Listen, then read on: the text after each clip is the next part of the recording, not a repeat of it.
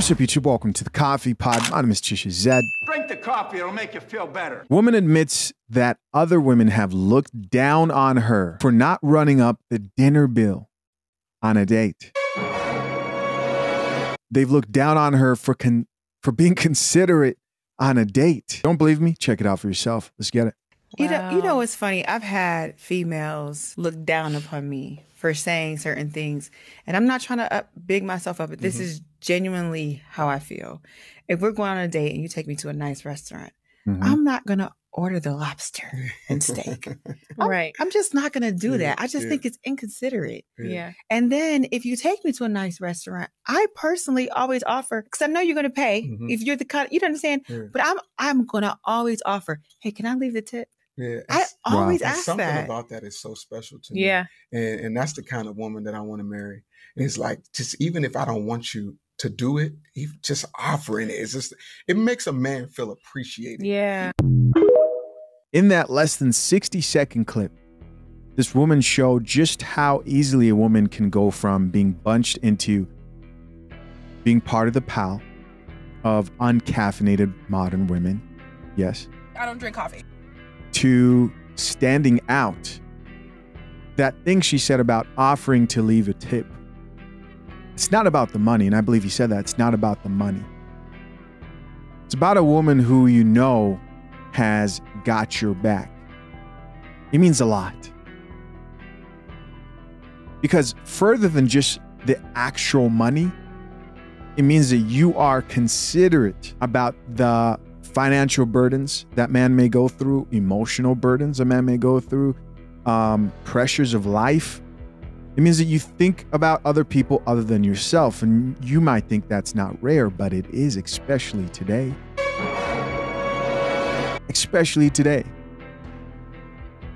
Especially today when you have women who absolutely will not accept anything more than some five star restaurant and they want to see you spend as much money as possible and run it up on your dollar just because they think they deserve it. This also reminds me of another video. The video involved a guy who was a dating coach and was pretty popular a while back. It was like making its runs all through the internet. I'm trying to find it right now and see if I can play it for you guys. But it was a dating coach who was basically showing the power of a woman offering to help pay for the date. I believe a man should pay for the date as a man, especially if you're a man who wants to take the leadership responsibility within a relationship. Now, this doesn't mean that you make six figures and you pay for every that people take such crazy extremes, but you can agree that hey, I don't mind taking on the, covering these dates because I can, and not only that, I want to do that for you. Doesn't mean that you're gonna pay her phone bill next month. That's not what I'm talking about here. All right, so I wasn't able to find it in my videos, but here I think I found it online. And this is Matthew Hussey. I'm wasting time. Let's get it. Let's have one more question. We had this person at the back in the stripes. Um, yeah, let's hear from you. Um, during the dating period, you know, after like four or five months of dating, um, I just wondering at what point does it get? Do you have to pay? Did the woman have to pay when they go out? The guy is asking that I should there should be half and half at that point when you already Oh, at what point? when you already been dating for four or five months. Right. Yeah. Look, okay. Uh, to, to give you a quick answer on, firstly, I think we should just deal with the who should pay thing to begin with. Who, when you're on a date, who should pay? I know. I mean, that's what I told him. You know, I'm sorry. But- I say, I'm, you, date, I'm dating. We're dating. you But here's the- gentleman here. Here, You're okay. He's supposed to pay. Yeah, that's You're what I told uh, them. but you're supposed to have sex with him whenever he says. No. Whenever Walt. What's where right? where what, but what's the, where does this double standard come from? Right.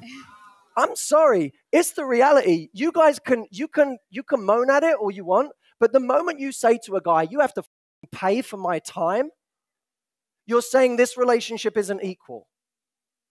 This relationship isn't equal. My time is worth more than yours, so you should pay for it.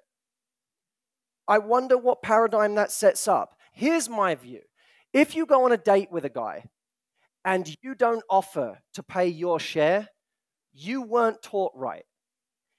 If you go on a date and he doesn't pay, he wasn't taught right.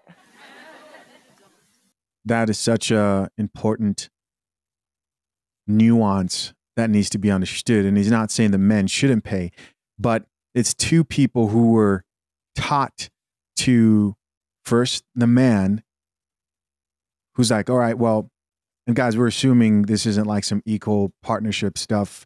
That's not what we talk about here on this channel. But a man who's raised up to foot the bill, and and and you may disagree with this, and that's okay. But most men who embrace the type of relationship where they want to take headship, they're going to be okay paying for that date. And they expect the woman to be pleasant and not be uh, entitled, selfish person who not only expects you to pay, but is going to run your bill up, like we saw earlier in that last video. keep listening. I can tell you right now, if I was dating someone and they never offered to pay, I wouldn't be dating them. I can tell you that now. If they never offered to pay, I would not be dating them because I'd say, this is the most polite they're ever going to be. And they're not even trying to pay now. Um, what does that say about my future? But I, I look, this, let me come at this from a different angle. I would, I would be treating, I will always treat my partner how I would treat my best friend. And I wouldn't apply a different standard to my partner than my best friend. I wouldn't go, I wouldn't say to my best friend, let's always go out to dinner and, and you always pay. I'd say, let's be teammates here in whatever way we can. And maybe, by the way, proportionately, what you can do is less than what he can do. That's a different thing.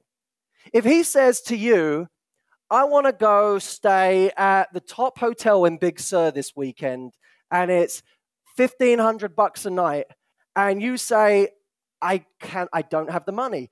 It's his job to say, it doesn't matter. I didn't do it so you could pay. I did it because I want to go and I want to take you. Great. That's what that is, right? Or if you both agree to go on holiday and you have a fifth of his earning potential, you say, I want to contribute to a fifth of this holiday. It's overly simplistic, but you get what I'm saying, right?